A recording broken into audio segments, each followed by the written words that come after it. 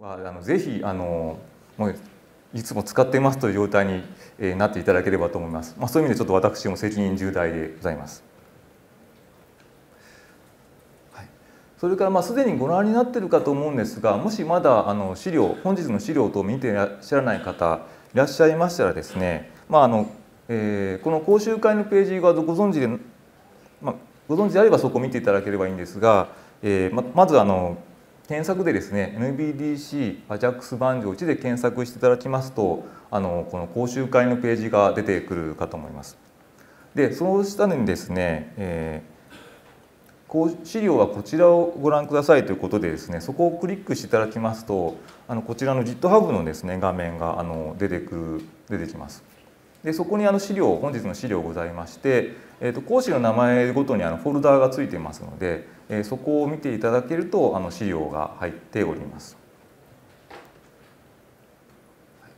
からちなみにあの、まあ、こちらの私の講義に関してはあの、えーまあ、もちろん手を挙げていただいてもいいんですけれどもあの質問等ございましたらですねこちらにあのお書きください。でリンクはですねあのこの工事資料のフォルダの中にもですねあの書いていますのでそこからリンクしていただいてもあの結構です。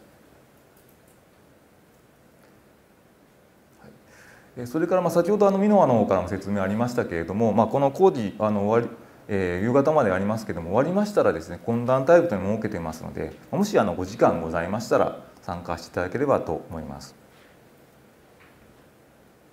はい、えー、それでは本題に入ります。はいまあ、あの皆様方にはちょっと釈迦に説法的なところあるんですけれども、まあ、転換期を迎える生命科学ということでですね、まあ、ご存知のようにあの生命科学の分野では情報があの非常に爆発的に増えているということがございます。で、えー、もちろんあの従来型の、え、実験を、まあ、仮説立てて検証していくっていうタイプのものもあのありますけれども、まあ、新たにですねあのすでに蓄積されたデータを使ってそこから新たを新たな知見を得るというのはですね、まあ、データ駆動型の科学と呼ばれていますがそういったものにあの転換しつつあります。でそういった中でですねあのまあ、データですとかデータベースを自由に使いこなしていくことそれからまあ生物学に加えてまあ情報学統計学数学計算機科学との融合とまあが行われているわけです。でこちらはまああの代表的なあの生命科学系のデータベースで、まあ、皆さんご存知のものたくさんあるかと思いますが、えー、まあ大体あの内容的に分類するとこういったものにあのなります。でまあ、日本に関して言うと、まあ、これも皆さんよくご存知だと思いますけれどもあの例えば、えー、三島の国立遺伝学研究所にあります DDBJ ですとか、阪大のタンパク質研究所にありますあの PDBJ それからまあ京大にありますあのケグといったものがあの有名大変有名です。それからまあ先ほどはあの内容のデータベースの内容でですねあの見ておりましたけれどもえーまあ、今度はあの構築法から見たデータベースの分類ということで、まあ、あの約10年ほど前にですねあの私どもの方でちょっと調査してみたあ調査してみてこのように分類をしています。でちょっと詳しく全て説明しませんけれども、まあ、その中で代表的なものが、まあ、バンク型と呼ばれるものですけれども、まあ、例えばあのゴンゾージのような、まあ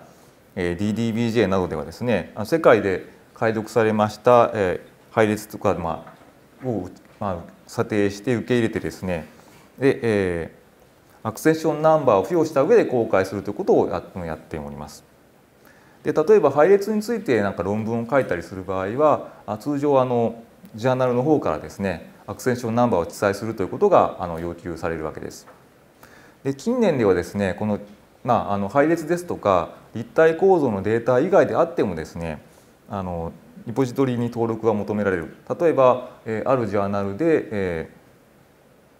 にで、まあ、データを登録する場合に、まあ、そこに使った表とですとかそういったものも全てあのリポジトリとしてにこう入れて公開しなさいということがあのジャーナルのポリシーとしてですね定められているということが結構増えています。まあ、それからまあこちら皆さんもご存知かと思うんですけれども、まああのまあ、科学の世界ではですね本来あのデータはまあ共有するものであるとにまあの考えております。でそれは一つはまあ再現性というのもございますし、えー、まあ透明性その間違っているかどうかという検証もの必要です。それからやはり最近では再利用ですねあの新しい観点からあの元の方とは別に、まあ、新しい観点が最適解析をしたりですとか、えーまあ、共同研究を行う場合にもですねあの再利用必要になってきます。それからまああのデータマイニング等でですねあ、えーまあ、データをうまく使っていくこともあります。まあ、こういったものもありますので、まあえー、私どもとしてはですね公的資金を投じて得られたデータは共有していきましょうということをあの申し上げたいと思います。はい、それからあの、まあ、オープンサイエンスという言葉最近よく聞くかと思うんですけれども、えーまあ、こちら今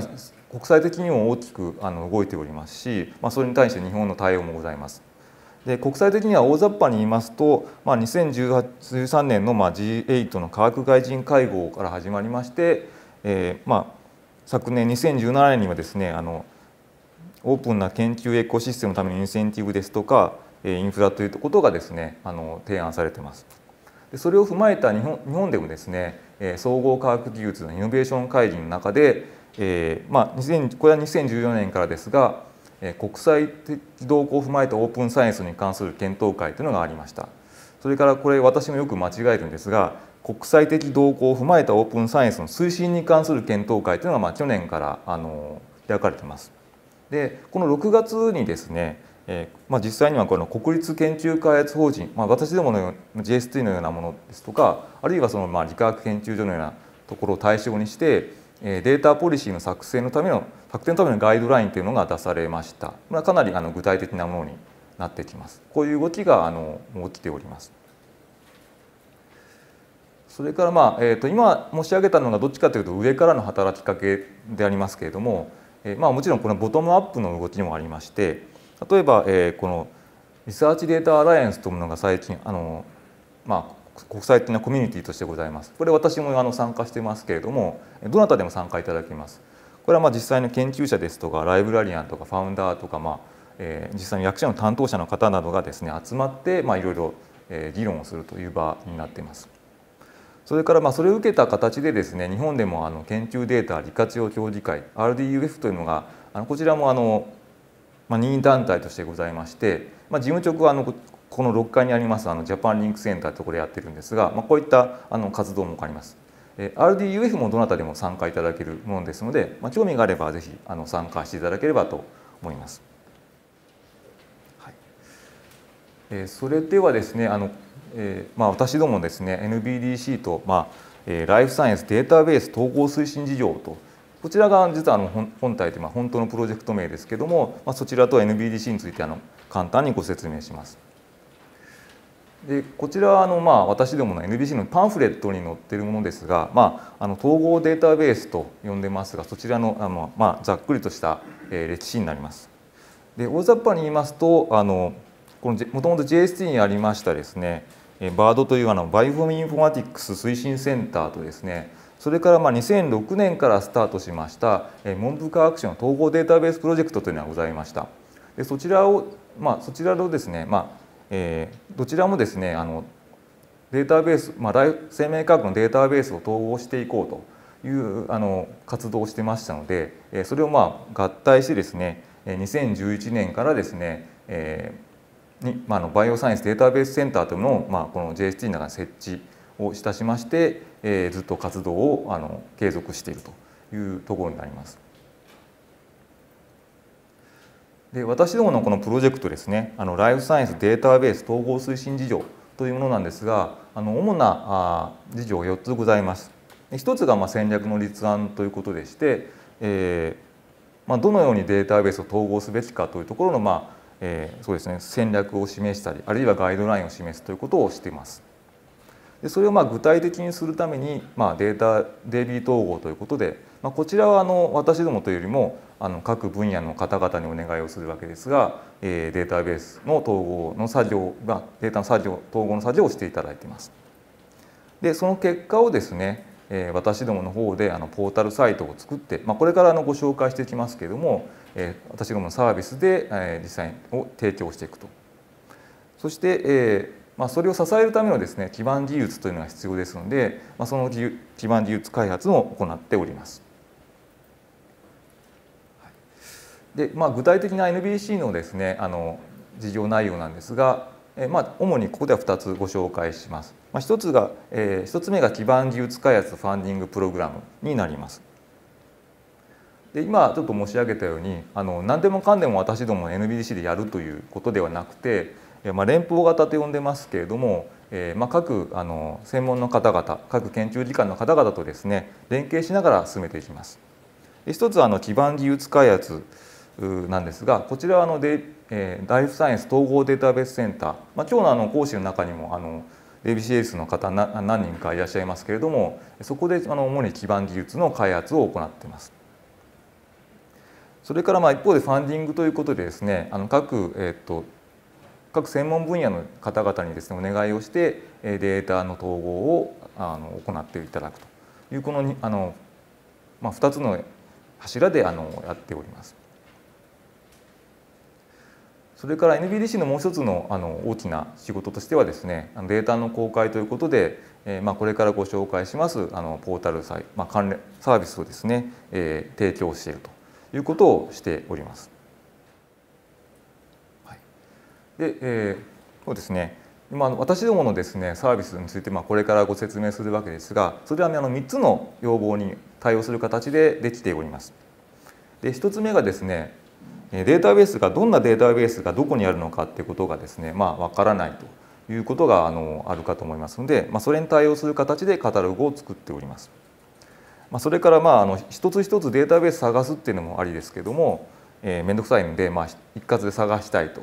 いうそういったご要望に応える形でですねあの一括検索をやっております。それからあのデータを再利用したいですとかあるいはちょっと、えーまあ、いろいろ計算をしたいので、えーまあ、自分の手元にですねダウンロードしたいというご要望もあるかと思いますので、まあ、それに対応する形でデータの一括ダウンロードサービスもやっております。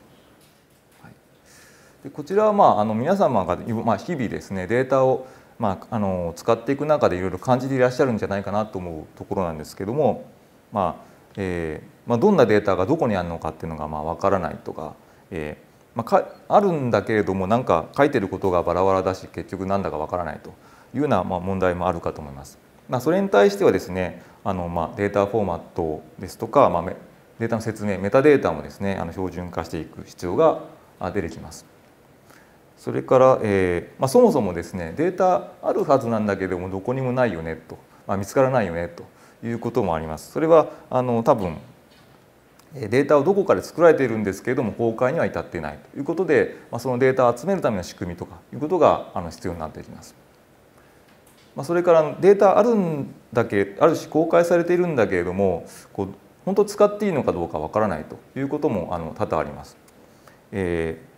まあ、一番厄介なのが何も書いてないとなのでこう触っていいのかどうかっていうのがちょっとわからないっていうのはあのあります。まあ、そういったものにそういった課題に対してはですねやはりあの利用条件の標準化をして、まあ、明示していく必要があるだろうと思います。でこの3番目の課題についてもう少しあの掘り下げてみたいと思います。で、えーまあ、すでにあの例えば映像とかなどではですねよく見られますが、えー、クリエイティブコモンズというあのライセンスがございます。まあこちらはですねあの4つの条件を組み合わせることによって6つのこのライセンスがですね作られるということです。であのお気づきの方はですね実は、えこの資料のですねフッターのところにあの同じようなアイコンが出てるっていうのが分かるかと思いますが、えこれはあの私どもまさにこのクリエイティブコモンズのライセンスを使っているということですね。でまあクリエイティブコモンズ、まあ、まあ、6種類あのあると言いましたけれども、えー、私の中でその中で特に3つを使っています。で1つがあの、えーまあ、上からいきますと表示継承というものでしてこちらはあの、まあ、クレジットなどを、まあ、きちんと表示してくださいと。で、それからその、えー、そこで作った、まあ、もしそこで再利用して何か改変した場合でもですね同じライセンスであの配布するとこれは継承と呼んでますけれどもそれを要求するそれをまあ条件にする代わりにですね、まあ、どのどのように使っていただいても構いませんというようなライセンスになります。で真ん中の CC 表示ですけどもこれはもう少し緩くてあの、まあ、継承が取れて取れてですねクレジットを表示すればですねあの、まあ、どう使ってもらっても構いませんというものがあります。でさらに進んで、えー、実はこの6種類のところにはないんですけども実はクリエイティブコモンズもう一つあの用意してまして CC0 っていうですね要はパブリックドメインのあのパターンも用意してまして、えー、これも私どものですね一部のあのコンテンツ、まあ、これからご紹介するあのカタログではですねあのこの CC0 を使っています。まあ、それはもう、えー、クレジットすら表示する必要なくて、まあ、どのように使っていただいても構いませんとそういったものになります。はい、えー、ではお待たせいたしました。えー、これから実習に入りたいと思うんですけれどもあのまだあのネットワークつながっていらっしゃらない方もいらっしゃると思いますので、まあ、本当はあの皆様にこうどんどん進めていただきたいなと思ったんですが、えー、ちょっと今日は私と私の方でもですねあの、画面見せていただきますので、え、もしご自分でもうつながっている方はですねあのご自分で試していただきたいと思いますがそうでない方はちょっと前の方を見ていただければと思います。まずですねあの NBDC のポータルサイト、まあ、すでに行った方もいらっしゃると思いますがこういったサイあのサイトがあってですねここからですねあの私どものサービスとかあるいはあの先ほどご紹介したような、えーと、基盤技術のサービスあのの成果でありますとかあのファンディングした先のですねデータにつながっております。最初にご紹介するサービスなんですけれども、えー、まあこのデータベースがどこにあるかという情報を示すための、まあカタログですねこちらの方のですね、えー、ご紹介をしていきます。で、えー、こちらの、まあ、インテグバイオデータベースカタログですけれども、え、これは、まあ、あの国内外国国内だけではなくてですね国外も含めたデータベースのですね情報を1667件現在持っております。で、まあ、そのうち国内は1100件以上あります。で、えこの記述項目メタデータですけれどもこちらはあの約 20, 種20種類ございまして、まあ、名前ですとか URL それから誰が運用しているのかですとか、まあ、生物種などのですねあの説明がございます。当然まあ一覧だけですと分かりづらいので、まあ、それキーワード検索ですとか、まあ、これからまあやってきますがカテゴリーで探すこともできますし、えー、そのデータをですねあのダウンロードしてこれまさにあの CC0 ライセンスで配布していますのでどう使っていただいても構いません。それからまああの RDF という形でもですね公開していますのでもしあのスパークルのクエリが書ける方いらっしゃいましたらですねそこであのご自分のデータとつなぐということも可能になります。でこちらがあのあでまあデータベースカタログへの入り方ですけれどもこれ後でまたあのちょっとお見せしますけれども、えー、NBDC のポータルページのですね、えー、左の一番上にあります、えー、インテグバイオデータベースカタログというリンクをですねクリックしますとあのこのカタログに入ります。でまあそこに入りますとですねこういった画面が出てきます。真ん中にありますのがあのデータベースの一覧になってましてでその、えー、左側の方でですねあのいろいろ検索をしたりとか、まあ、絞り込みを行うということがあのできます。で例えばあのあるレコードをまあ選選び、まあ、すみません、えー、そうですね。例えば検索にですねあの検索窓で例えば主要というふうに入れますと、えー、そこ、まあ、主要キーワードにしてですねあのデータベースをこう絞り込むことができます。で例えばこの、えー、そうですね ICGC データポータルってデータをベースをまあ選んでみますと。で、えー、そうしますとこの名前をクリックすると、まあ、オリジナルサイトの方にあのオリジナルのです、ね、データベースの方にリンクをします。それからこう下にありますあの詳細へっていうクリックあのリンクがあるんですがそこを見ますとですね、えー、その私どもね集めたメタデータの方がこう出てきます。でここにはあの先ほど申し上げた20種類のメタデータありますので、まあ、あのどういったデータベースかってことを、まあ、お使いいただく前に理解していただくことができます。これ今画面に出ているのがまあ日本語なんですがあの英語版もございます。はい、で、えー、そうですね先ほど申し上げたようにあのでこのデータダウンロードできますので、えー、それはあの CC0 で、えー、こう提供してますので、まあ、いろいろご自由にお使いいただければと思います。はい、ではですねちょっと実習ということで、まあ、ちょっとデモのような形になりますが、えー、見てみたいと思います。でまずですね、えー、実習1ということで、まあ、植物のゲノム遺伝子に関係するデータベースはいくつ存在するかということなんですがちょっとこれは画面を、見ていただきます。ああのネットワークつながっている方はぜひご一緒にあの、えー、やってみてください。でこちらがまずですねあの NBDC のペあのトップページになりましてでここにあのインテグバイオデータベースカタログ左上にありますねこちらをあのクリックしていただきますと、えカタログのページに行きます。はい、そうしますと,、えーと、ここにインテグバイオデータベースカタログのですねページが出てきます。でここでですね、え植物あこの左側見ますと、え生物種でですねまずあの分類されています。でここでまず植物とのが304って書いてますがここをクリックしますと、はいえー、ここはもう植物のデータベースだけがもう選択あの出てきている状態ですね。でそこからですね、えー、さらにゲノム遺伝子ですね今度はこの対象対象から選ぶこともできます選ぶことができて、えー、そこにありますゲノム遺伝子というですねあの項目ございます。ここは今102件と出てますのでここをですねクリックします。はいえー、そうしますと、えー、植物で、えー、ゲノム遺伝子の、えー、ものを対象にしているものがですね102件選ばれるということであの、まあ、実習の対する答えでいうと、まあ、102ということになるかと思います。それからまあ次の実習はですね、えー、そのうち日本国内で作成されたデータベースはいくつ存在しますか？ってことなんですけどもこれはまあさらにあの絞り込みをかけていきます。えー、この今あのタグ対タグ対象というところを見ていましたがさらに下の方に行きますと地域というですね、えー、とこございます。ですここでまあ日本か、まあ、日本か日本以外かっていう分類しかないんですが、まあ、日本をクリックします。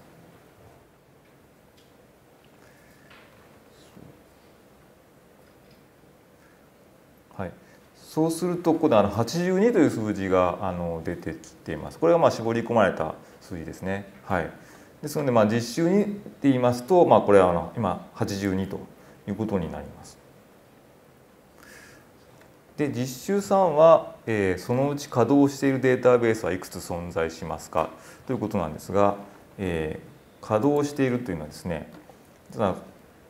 この地域の上にあの稼働状況っていうのがあります。でこれあの実は私どもですねあの単にデータベースの情報を集めるだけではなくてそれが稼働しているかどうかで実は監視しています。なので、えー、これがですねあのデータベースが、えー、サーバーが、まあ、何らかの事業止まってしまうと休止という状態になります。でこれ休止っていうのは結構あります。で、まあ、さらにその公開停止とか運用っていうのはこれちょっとあの運用者に聞かないとわからないんですけれども、まあ、できるだけ運用者に連絡取ってこれ公開終了運用終了したんですかってことを聞いてます。はい、なのでまあ稼働中っていうものであれば間違いなくこのサーバーは動いてますよっていうことになります。はい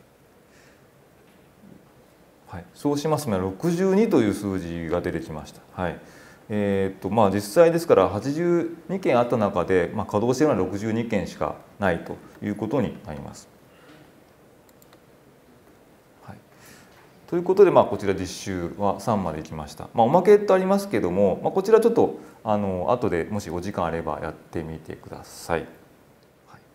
えー、それではですねあのカタログについては、えー、以上になります。続いてのサービスのご紹介なんですけれどもこれはあの、まあ、データベースを一括検索できないかというご要望に対するものです。でこちらはあの生命科学データベース横断検索と呼んでますが、えーまあ、650件のデータベースを対象にして、まあ、もちろん文献とか特許も合わせてですねあの一括で検索できるようになってます。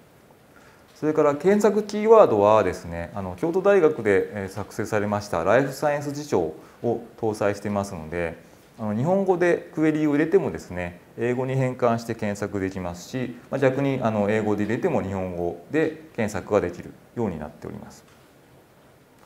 まあ、それからまあ当然検索結果はまああの遺伝カテゴリーですとか遺伝子名称などであの絞り込むことができますし、まあ、類似キーワードということで、まあ、あのそれも表示することが可能です。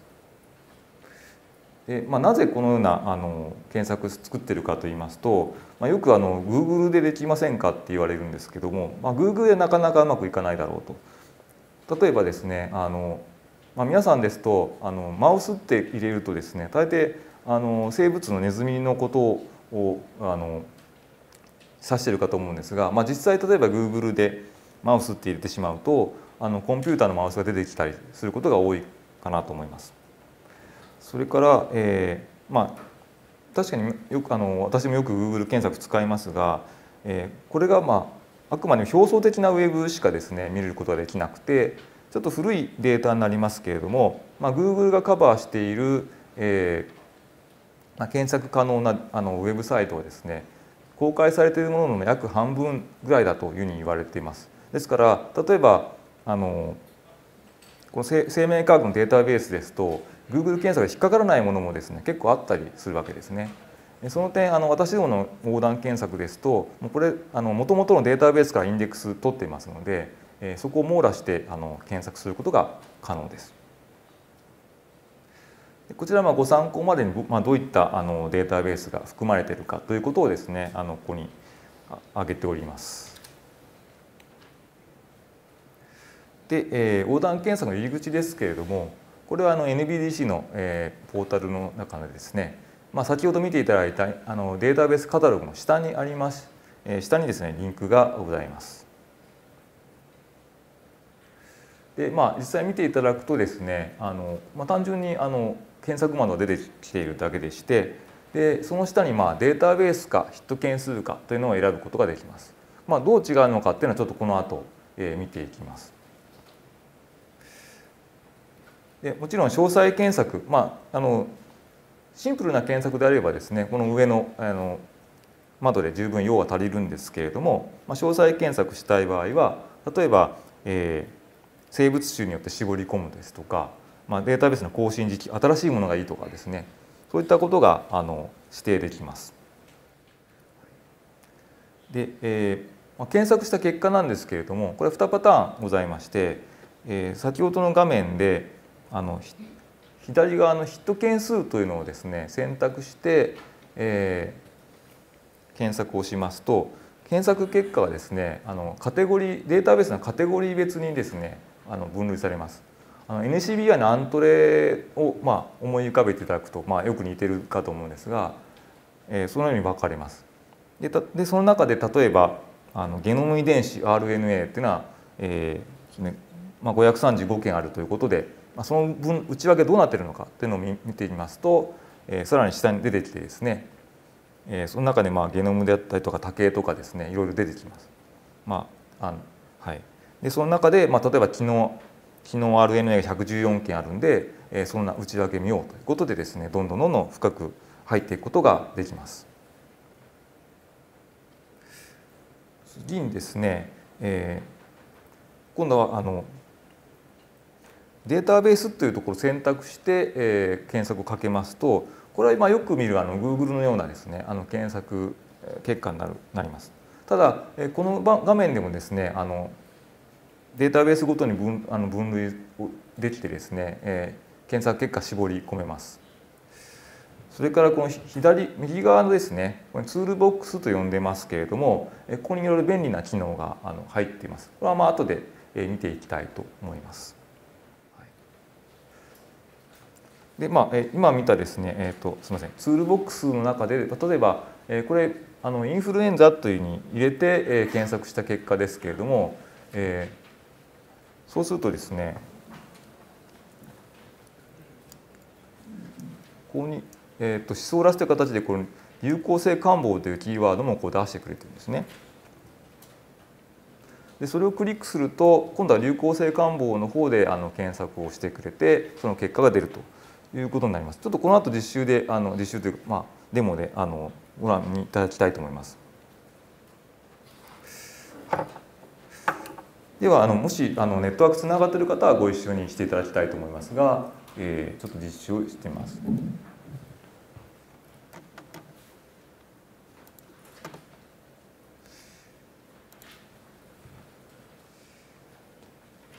はい、こちらはまた NBDC のトップページです。あのぜひブックマークに入れていただければと思います。で、えー、今度は左から2番目のですね、データベース横断検索ってところをクリックします。はい、そうしますとここにまで出てきたのがですね、えー、横断検索の画面です。で、ここでですね、えー、この実習2のあ実習の方はですね、アルツハイマー病というふうに入れ入れてみましょうということですね。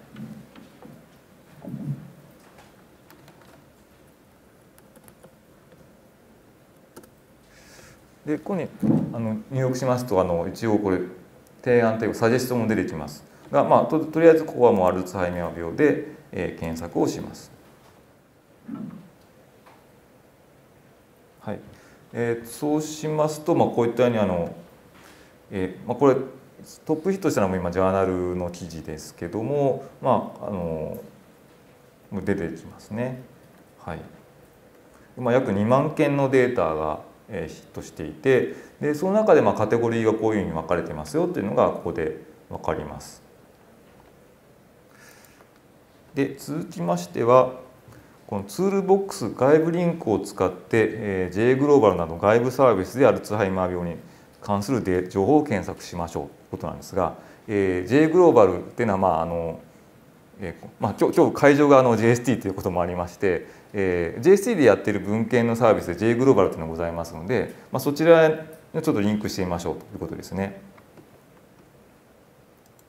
今検索した画面でですね、えー、ちょっと下の肉とあのここに外部リンクっていうのがあのこう右下の方に出てきます。でこれをまあ開いてみますと、えー、まあパブメドとか NCBI とかもちろんあの有名どころは全部押さえてるつもりなんで、えー、こういったものが出てきます。でこの中にあの特許なんかもありましてで、えー、そこでまあ J グローバルっていうのはあります。でこの J グローバルっていうのをですね、えー、すみませんちょっと重いですね、えー、ちょっと更新変えましてパブメドにしてみましょう。はい、あ出てきましたね。であのちゃんとパブメドなのでこれアルアルツハイマーに翻訳されて出てきています。はい、でこれはまああのアルツハイマーで、えーまあ、パブメドで検索した結果がここに出るというものです。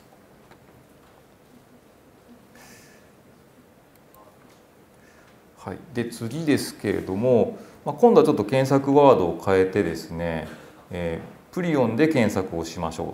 う。で、えー、そのツールボックスの中の関連遺伝子で検索で関連遺伝子を確認しましょうということですね。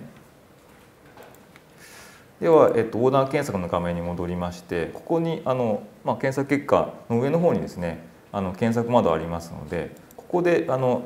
キーワードを入れると再検索ができます。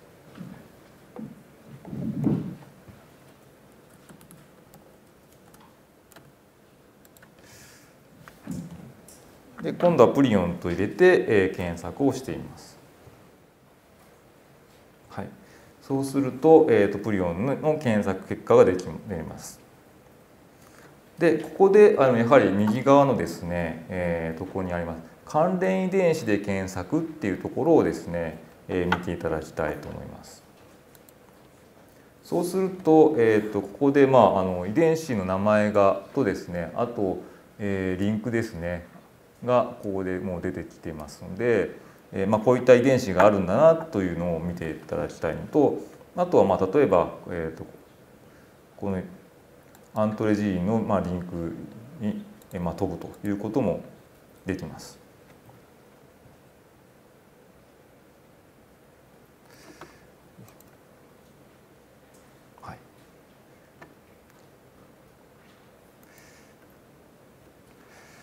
それから、まあえー、と最後の実習ですがあ関連遺伝あそうですねあごめんなさい7と8前同時にあのどちらもやりましたね。えー、7の方が、まあ、この遺伝子を確認するということと、えー、8番はそこから外部リンクに飛んでみましょうということで、えー、飛んでみました。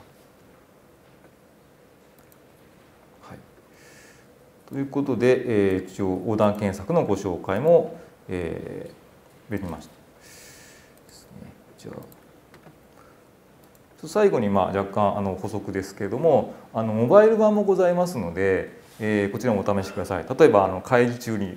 このここの言葉なんだっけ？って分かんなくなった時にこっそり見ていただくとか、まあ、そういった使い方もできるかと思います。はい、では続いてはですね、えー、のサービスの紹介です。えー、こちらはですね、まあ、データセットを丸ごと取得できないかというサービスで、えー、実は私の本職実はこのサービスです。こちらの生命科学系データベースアーカイブと呼んでますけれども、えここはこちらですねあの国内で作成されたデータベースを丸ごとダウンロードできます。で、えー、まあもちろんあの CSV とか RDF とかですねそういった形式もあのでダウンロードできますし、まあ、もちろんこうデータベース多様ですのでこの形式で収まらないもの例えば画像ですとか PDF ですとか、まあ、その他いろんな形式がありますので、まあ、そういったものにあの柔軟に対応しています。でまああの作り手の方から一番こう言いたいところとしてはこの説明をしっかりつけていますよというのがあります。というのはあのここに入ってくるデータというのは大抵そのプロジェクトが終わったりとかしてですね、えー、ちょっとあのもう例えば担当者がもういませんとかそういったものが多いんですね。ですから、えー、メタデータがもともとかなりあのないというか失われている状態なのでそういったものを掘り起こしてこうデータメ,、えー、メタデータつけているというところがありますので、まあ、あのそういったえ担当としてはそういうことは言いたいということです。はい、それからデータは基本的にあのクリエイティブコモンズのライセンスで配布をしています。えー、先ほどちょっとご紹介しました、えー、CC 表示継承あのクレジットを表示してで再配布する場合はそのライセンスを継承してほしいというこういった条件をつけたライセンスを、まあ、あの一応標準としてあの用意をしています。まあ、最終的にはその帰宅していただいた方のあの、まあ、移行とかもあるんですけれども移行もあって変わる場合も若干ありますが、まあ、基本はあのこのライセンスで提供をしています。でまあ、こちらはまあ中身の分類ですけれども例えば対象で言いますと、えー、ゲノム遺伝子ですとか、まあ、やっぱり CDDNARNA とかタンパク質はやはり多いですね。それからまああのタイプとしてはですね、まあ、配列、まあ、結構ありますしえー、最近ではですね画像とか動画もあの増えています。はい、こちらのアーカイブの方なんですけれども、えー、NBDC のトップページの、まあ上えー、左上から3つ目のところにリンクがございます。で、えー、まあ開きますとですねあの、まあ、140件ぐらいなんで一覧全部出してもそんな大したことないんですけれども、まあ、絞り込みたい場合はあのさらにこう名前を入れたりして、え絞り込めますし、えそれからまああの一応項目別に並べあの項目出してますので、まあ、そのソートもできます。まあ、それからまあさらに詳細な検索したい場合はもうあのメタデータいろいろ検索したい場合ももちろんできます。それからまあちょっと目立たないんですけども、えー、この画面のですねトップページの画面の、えー、右上の方に行くとこう窓があります。でここの中にはですねここにキーワードを入れるとこのアーカイブに収録したものをですの中から、まあ、一括検索先ほどの横断検索の機能を使いまして、え、中のデータを直接検索することができます。それから、まあ、あの結構配列のデータも多々ありますので実はブラスト検索もできます。それからまああの画像も増えていますので、まあ、キャプション情報ですけどそれを使った、えー、検索もあのできたりします。はい、ではちょっと実習なんですけれどもちょっと1点注意がありましてこれはちょっと大きな画像のですね、え、を見ていただくんですがあのビューワーは開くと思いますが画像のダウンロードはあのちょっとやらないでくださいと。大体サイズが1ギガ超えたりしますんで、えちょっとそれは後でお試しいただければと思います。それではですね、え見てみたいと思います。で実習9はですね OpenTG ゲーツの病理情報の中から、えハイパートロフィーを示したデータを絞り込みダウンロードすると結構難しいんですけどちょっと一緒にやってみたいと思います。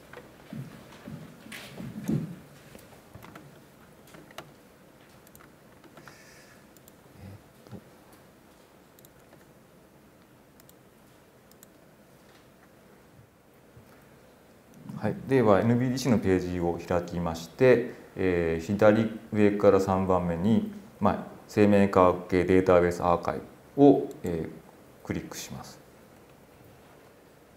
はい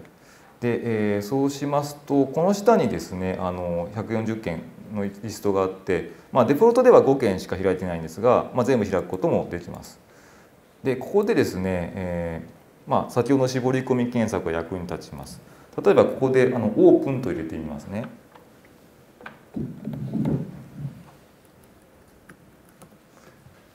でオープンという言われますと、まあ、3件にあの絞り込めます。であの似たようなデータベースが出てきますがこれはあのえー、ここではまずあの一番下のですね OpenTG ゲーツと書いた、えー、方を見てみます。でここをクリックしますとここはまあデータベースの説明をずっとこう入れてます。えー、まあこれはあの実はあの厚労省の土地思考ゲノミクスのプロジェクトがいただいたものですけども、えー、こういった、えー、説明が入っています。でまあ本当はここでちょっと利用承諾も見ていただきたいなと思ったんですが、えー、ちょっとあのネットワーク時間かかってしまいますので、えー、先を急ぎまして、えー、ダウンロードというですねあ、えー、左側のメニューからダウンロードというところをクリックします。でそうすると、えー、ここにですねダウンロード可能なデータの一覧がダーッと出ていまして、えー、一番下に行っていただきましてこの病理情報っていうですね、えー、データございます。でそこで、えー、まあここも真ん中の ZIP っていうのがある、まあ、これがデータをダウンロードできるんですけど今回ちょっと絞り込みたいので、えー、右側にある検索のダウンロードの方をクリックしています。そうしますとこの病理情報の、えー、と一覧がですねあの出ます。まあ、あのアーカイブはその、まあ、ダウンロードがメインなんですけども、まあ、それだけだとちょっとあの寂しいのでですねこういった検索ができるように一覧化もしてます。でここでですね、えー、ここで、まあ、けんあのファインドってところにあるの検索はできるようになっていてここにあの例えばハイパートロフィーとに入れてみます。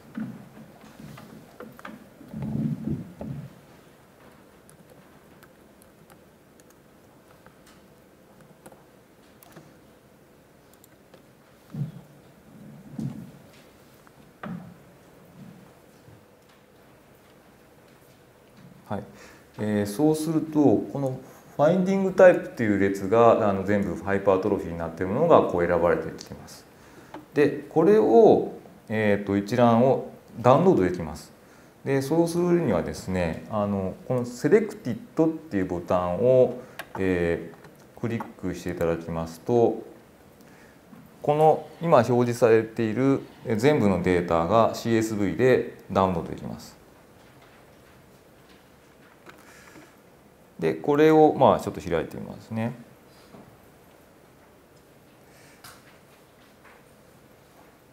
はい、で出てきました。はい、でここまでが、えー、実習9の内容です。で次は、えー、その際の肝臓の病理画像を見つけましょうということなんですね。じゃあまずじゃあちょっとターゲットを絞りたいので、まあ、あの皆さんはどうどれでもいいんですけども、えー、私の方はちょっとデータを絞ってしまってえー、この一番上のデータをあのの病理画像を見てみようと思います。で、えー、画像を見る場合は一旦ですねあのアーカイブの、えー、ホームのトップページに戻っていただきます。はい、でここでまた、えー、とそうですね絞り込みで、えー、例えばオープンって入れますとえーまあ、3つ出てきます今見たのが一番下の OpenTG ゲーツなんですが今度は写真ですのでその一つ上の OpenTG ゲーツの病理写真データベースです。でちょっと、えー、ここではショートカットをしまして会員検索ってありますここの、えー、ありますねこれをもう直接クリックします。というのはこのデータベースの方は先ほど OpenTG ゲーツの方はデータが13個もあったんで会員検索って押しても何が出てくるかっていうのは、まあ、あの理由があってやってるんですけどあの分かりにくいと思います。こちらは、えーと、データベース1個データ1個しかないので1種類しかないので会員検索ってを押しますともうあの先ほどの会員検索画面がそのまま、えー、すぐに出てきます。はい、するとあの病理写真の情報が出てきます。あの病理画像あ病理情報とあの写真のこう肝臓のですね写真の情報が出てます。でここで、えー、と先ほどマークしておいたこのデータの写真を選びたい。そうすると、えー、そうですねまずちょっと詳細な検索が必要になってきます。その場合はこのアドバンスサーチというのをですね、えー、クリックしますとこういったあの画面が出てきます。でこの中で例えば、えー、エクスプレッション ID が713だと入れています。で、えー、グループ ID は12であると。で、えー、インディビジュアル ID は4であると。で念のため、えーと、とオーガンはリバーであると。いうふうに、えー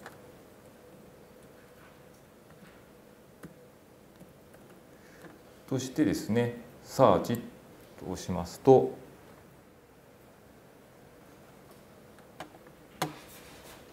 はい。するとまあ一件にあの絞られます。で、えー、ここですね。ダウンダウンロード1146メガ、まあ、1ギガを超えてしまっているので、えー、ダウンロードはしないでくださいその代わりこのフルサイズ日、まあ、この写真クリックしていただくといいんですけどこの写真クリックしますとこういったあの画像が出てきます。でこれちょっとあのちょっと気が若干気が利いててあの拡大縮小とかっていうのが、えー、できるんですけどあなんか出ないですねまた。え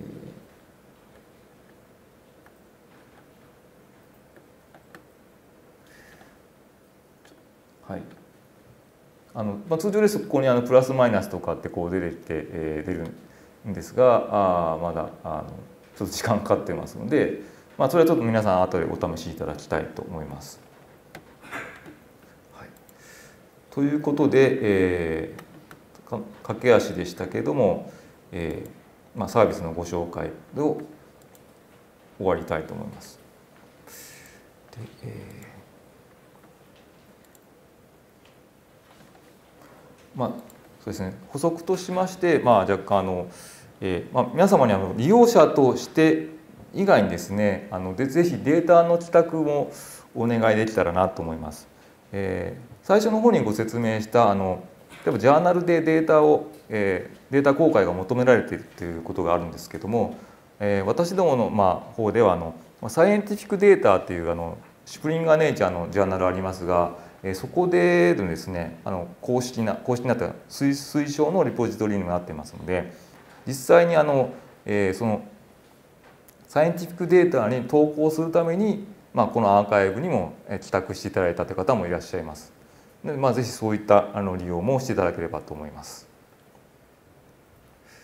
それから、えー、とこれはまあ4章によるデータベース統合ということで、えーまあ、私どものあの事業はですねあの一応文部科学省の下でやってますけれどもそれだけではなくて経産省農水省厚労省とも連携しながら進めております。で、まあ、このインテグバイオ JP というようなサイトが、まあ、専用のサイトも作ってたりします。で実際このアーカイブもですね、まあ、今ご紹介したあのオープン TG ゲーツは、まあ、厚労省から来たりするわけですがこの4省の連携の中で、まあ、帰宅していただいたものそれぞれの、まあ、例えば省の方ではなかなかあの予算と、まああのえーまあ、お金がかかるんで難しいもあの公開にもお金かかるの難しいところもありますけども、まあ、それを私どもの方で、えー、公開をしたりとかそういうことがあのあります。はい、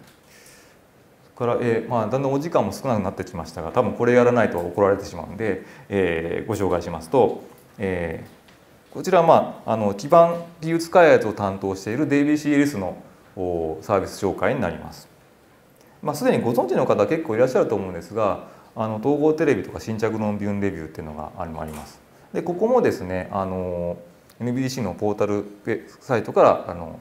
リンクします。あのこれはちょっと実習等やありませんので見ていただければと思います。で統合テレビですけれども、えー、そうですね、まあ、あのデータベースですがツールの使い方それからまあ実は本日のえような工事も含めたものを動画で配信をしています。で、まあ、現在まあその動画数1400本以上超えています。でもちろんですね、まあ、YouTube から見ていただくこともできますしあとまあムーブファイルであのファイルになってますので、えー、ダウンロードできます。でこのダウンロードをしているそれをホストしているのが実はあの先ほどご紹介したアーカイブだったりするわけですがそこからあの一括でダウンロード複数のですねあの工事の動画をガーッと一括でダウンロードすることも可能です。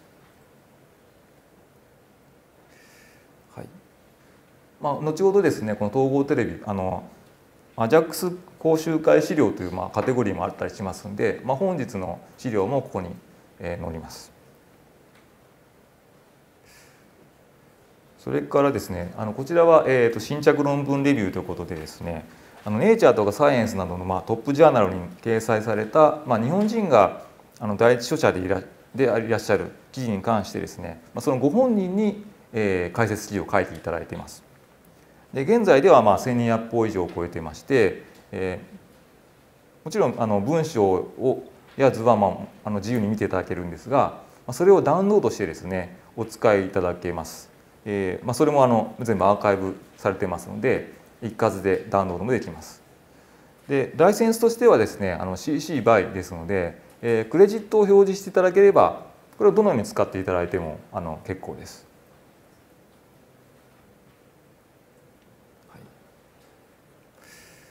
はい、ではですね、えー、今後そうですね最後にはその今後に向けてということでなんですが、えー、はい。えー、そうですねこれはまあ5 star open data というですねあの、まあ、ウェブの創始者でありますティム・バーナーズ・リーがまあ最近提唱しているということなんですが、えー、データは単にオープンになっただけではダメで、まあ、その中にもまあ5段階ありますよねということをまああの提唱しています。で一番あの一番ベーシックな段階が、まあまあ、要はとにかくネットで公開されているという状態ですね。まあ、例えば PDF であっても構わないのでとりあえずネットで公開されていれば、まあ、それはまあ機械で読むことができますと。でさらにもっといいのは、えー、編集ができるということがももっとよくてですね例えば PDF だとまあちょっと、えーまあ、PDF も一部編集できるんですけども、まあ、画像になっちゃったものだとちょっと難しいですよね。でそういったものではなくて、まあ、Word とか Excel とか、えー、少なくともそういったアプリケーションで編集できればもっといいということで2つ節がついています。でさらに、まあ、Word とか Excel とか、まあ、特定のアプリケーションでなくて読み書きができるものということで、えそれがまあ三つ星として推奨されています。例えば CSV とかですねそういったものが、え推奨されています。でもでさらにですね、まあ、多分この辺は皆さんよくわかると思うんですけど、えこの先は結構難しくてですね今度はまあリソースをユニークにしなさい全部 ID つけなさいっていうことがあさらにこう推奨されています。でこの後ちょっと説明しますけどこれは RDF という形式で、まあ、あの実現すべきであるということを言っていてでさらにそういったデータ同士がリンクして検索できるようになるというのが5つ星ということで、まあ、これがまあリンクと RDF って書いてますがここまで持っていくのはまあ理想であるというふうにことがあの言われております。まあ、というわけ、まあ、そういった流れもありましてですねえー、私どもの方ではこう NBDC RDF ポータルというものもあのやっています。あの RDF データを RDF でダウンロードできますしあの検索も試せます。じゃあ RDF って何なんですかっていうことなんですけども、まあ、これはあのちょっと難しく書いてますが難しく書いてるか、えー、まあこれ定義なんですけどもあの主語と述語と目的語っていうですね3つ組、まあ、トリプルって呼んでますけどその3つでですね構成されているデータをずっと積み重ねていきましょうっていうものなんですがといっても何のことやら私も聞いた時に何のことやらさっぱり分からなかったんですけど、えー、ちょっと具体例で見てみます。例えばですねあの今 DDBJ に登録された配列がまあ1個ありますと DNA 配列があります。まあ、例えばこれこれがあの、まあ、AP014957.1 という、まあ、例えばそういったデータが、まあ、これ実際あるわけですね。でそれの、えー、タクソノミーはこれですよっていうことを、まあ、一つのトリプルとして表します。で、えー、RDF の特徴はそれを全部 URI というか ID で表しましょうというわけです。で、まあ、配列の方は、まあ、多分こう ID というかですねあのもうページがあるので、まあ、それはあの同定できるというのは分かると思います。それから一方でタクソノミーもまあこれ ID になってますので、まあ、それもよく分かると思います。えじゃあなこのここが何でこの ID ついてるのかって話なんですけどこれまさにあのキーワードでして、えー、例えば人によってタクソノミって書くこともありますし、え、あるとこではタクソンって書いちゃうかもしれませんし、え、オーガニズムって書いちゃうとこもあるかもしれませんしそうするとこう同じこと言ってんだけど結局なんか全然こう互換性がないような状状態になります。でそのために、えまあ、オントロジーという形でですねこう定義してですね例えば、えー、タクソノミーはこういうで ID で定義しましょうみたいなことをしていきますと、まあ、誰でも使える、まあ、他のデータからもアクセスできますよねということなんですね。で、えー、さらにですねこここれとはまた別のだ、えーデータがあると。それはまあタクソノミーのこの ID は、えー、このオリオリザ・サティバ・ジャポニカグループという、えー、生物種ですよっていうことをですねを作そういうのをまあ作っているデータもあると。だからこの上と下のデータは、えー、と同じ人が作ってもいいんですけど別の人が作っていることが多々あると。ただ別々の人が作ったデータなんだけど RDF を使えるとつながりますよねと。ここと,、えー、こことこの ID が同じなのでつながっていくわけですね。そういったことでどんどんデータを標準化していきましょうということの考え方なんです。で、えー、今のはすごいシンプルな話でしたけどそれもっともっと複雑あのどんどんつなげていくとですね、まあ、例えば、まあ、あのジーンとドラッグがつながってでドラッグとストラクチャーがつながっていくんで、えーまあ、極端な話、まあ、ジーンからこうドラッグのストラクチャーまで一気に検索ができたりとかですね、まあ、あのこれまだちょっと、まあ、理念があの先行しているところはありますけれどもこういった形で、まあ、つなげデータをつなげていくことによって、まあ、データ統合が進められるというものになります。で、まあ、ちょっと今日は、えー、お時間もありませんので、えー、RDF の話はまあこれここまでですけどもえー、NBC の方ではですね RTF にの作成とか利用法に関する講習会も開催していますので、まあ、興味ある方はぜひ、えー、参加していただければと思います。それからまああのいろいろお話してきましたけどまだ課題は多くてですね、えー、例えばまあそうですねあ、まあ、データ共有に関する国レベルのルールガイドライン、まあ、ようやくあのできてきた感じはありますけども、まあ、それでもまだですね、えー、道半ばだったりします。それからまあ何でもオープンにしてできるわけではないわないわけでしてこの後まああのあります人データベースとかですね、えー、まさに機微情報に関わるところそういったところのですね、えー、どういうふうにコントロールすべきなのかってところも、ね、考えなければいけません。それからまああの、まあ、私どものぼやきですけど、まあ、人員とか予算とかやっぱ足りませんねと。ということもありますし、えー、当然インフラもですね、まあ、データ量がどんどんどんどん増えてます。今の、えー、アーカイブは結構データ量多いんですが、まあ、まだ100テラいかないぐらいですけど多分今後もっと数百テラとかどんどんそういうレベルになっていきますし、まあ、その時にそれを支えるストレージも必要になってきますので、えーまあ、その辺の予算の仕組みどうするかという問題も、えー、ございます。それから、ですねまああの私どもこういうサービス成長してますけども、まあ、ぜひそういったサービスは役に立ちました、まあ、役に立ちましたっていうか、まあ、これ使ってますよっていうですねあの情報ございましたらぜひあの、えー、提供していただければなと思います。